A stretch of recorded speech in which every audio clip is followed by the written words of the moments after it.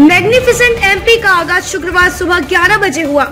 मुख्यमंत्री कमलनाथ के साथ एनजी प्रजापति पहली बार समिट में विधानसभा अध्यक्ष मंच पर मौजूद रहे।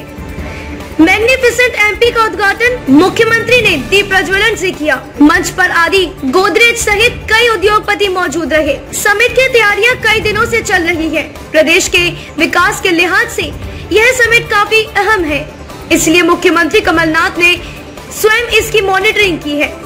मैग्निफिसेंट एमपी में हिस्सा लेने के लिए करीब 900 अधिक उद्योगपति आए हैं। इससे प्रदेश में इकतीस हज़ार करोड़ रुपए के निवेश आने की उम्मीद है।